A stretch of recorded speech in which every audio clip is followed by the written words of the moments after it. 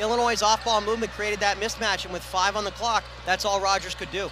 Jack Gohlke's going to try his first three. He was strapping them all night against Ohio State, and his hot shooting continues. He was 6 for 18 behind the arc. The hybrid zone here, Illinois is yet to figure out how to break it. Stripped away by Townsend. Here comes Oakland on the break. Blake Lampman's going to try a three. 8-0 Oakland.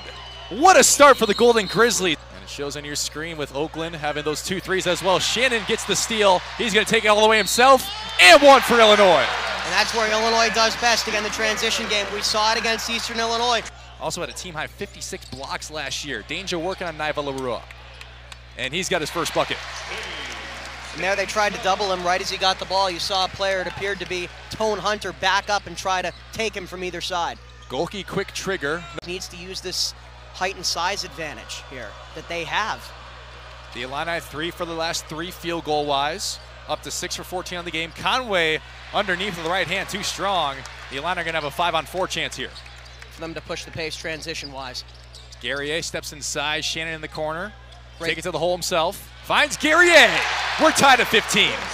When the outside shot hasn't worked, you fed it inside. Neither one of those have worked over the last two, three minutes. So what do you turn to here? Looks like it's going to be the mid-range. Townsend tries a left, and he gets it to go with the little skyhook. That's one of Thompson's strengths, his good hands inside, allows him to gain maximum height on the turnaround shots and jumpers. Great ball movement by the Illini. Hawkins finds Guerrier on the baseline, and Guerrier once again slams it home. A guy who shot 51.8% from the field last season and 38.5% from three alone as Townsend is going to go to the hole, and it's going to be an and one because Ty Rodgers blocked it on the way down. Use it as Dainja's about to check back into the game.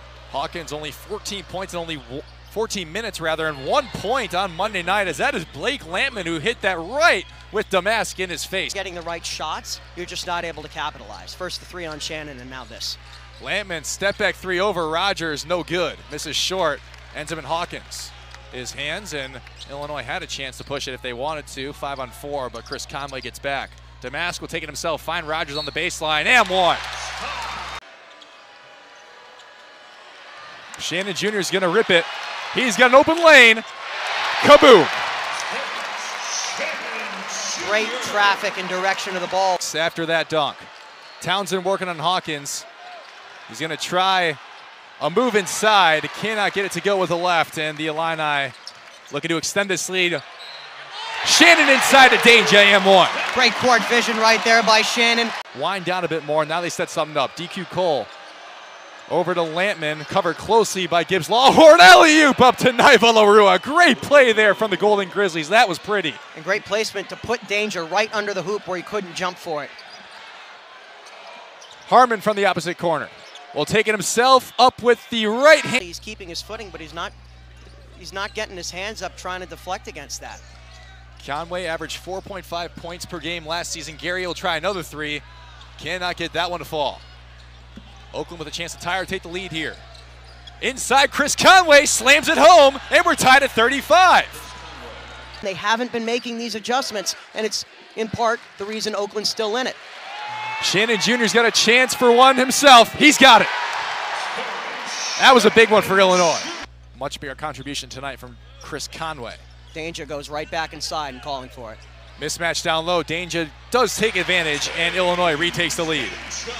6-0 run for the Illini as they look to stop Oakland here. Gohlke step back three. Count it! My goodness, Jack Gohlke silences the crowd. And that's his signature. We've seen him make so many of those plays. A member of the first team All-Great Midwest Athletic Conference. As mentioned earlier, Jack Gohlke, the transfer from Hillsdale College, as George alluded to. Shannon is open for three. He answers. He doesn't back off of him. He doesn't bite on those fakes. And that's been the difference. Coleman Hawkins inside to Guerrier. Illinois leads it by 11. Yeah, beautiful feed right there from Hawkins again. Gohlke two for six now from three-pointer and in general in this game. Shannon, three-pointer himself. Count it! Terrence Shannon Jr.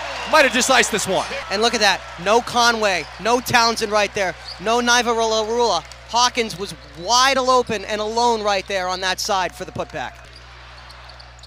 Cole closely covered by Goode. Long range three. Oh, it goes. My goodness. DQ Cole.